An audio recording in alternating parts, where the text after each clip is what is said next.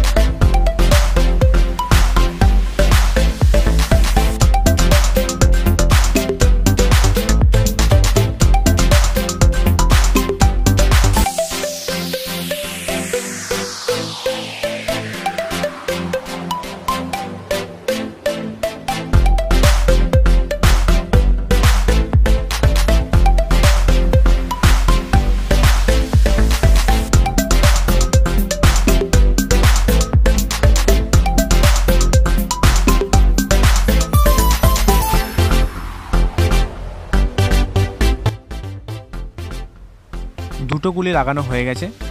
এটা ভালোভাবে টাইট হয়ে গেছে এবং যেমনভাবে লাগালাম, বাকি দুটো গুলি ওইভাবে লাগিয়ে ফেলুন। এবং এটাতে আমরা ওটা রডটাকেই চেঞ্জ করে দেবো, নিচে এলিমেন্টের নিচে রড পুরোটাই চেঞ্জ করব। পুরোনোটা দেখতে যে পড়ে আছে কালোটা এবং সাদাটা লাগাবো। তো এটা, তো আপনারা পারবেন সবাই। এইভাবে যেভাবে যে বাকিগুলো চেঞ্জ করলাম, সেভাবেই চেঞ্জ করে দেবেন। ওকে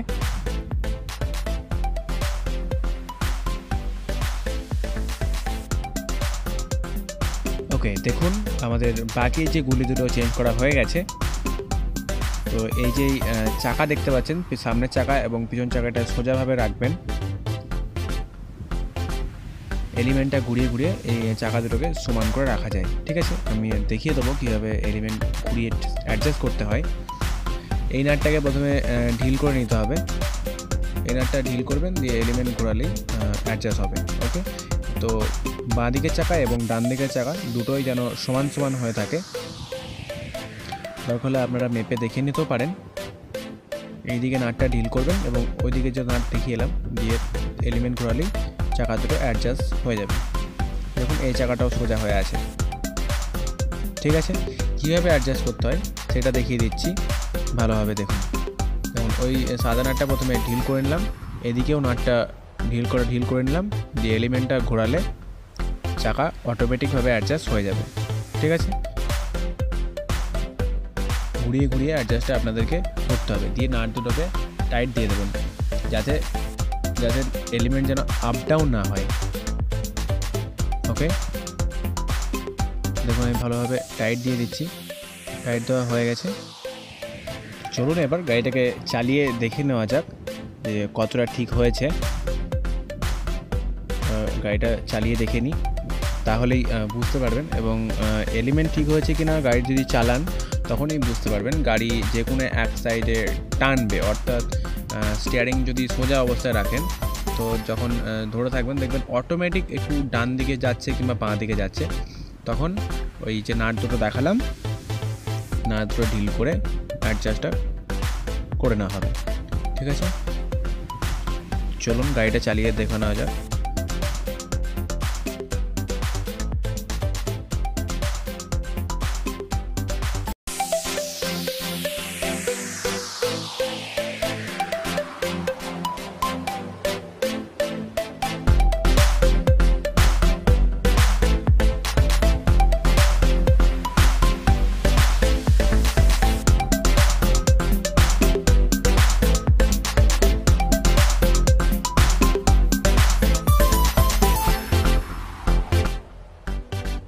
ফাঁকা রাস্তায় চলে এসেছি।